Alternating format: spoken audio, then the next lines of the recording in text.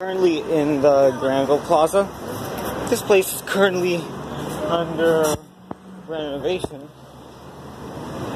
I think I see something for the elevator. Yep. It's out of order. Can't ride it. Alright, that's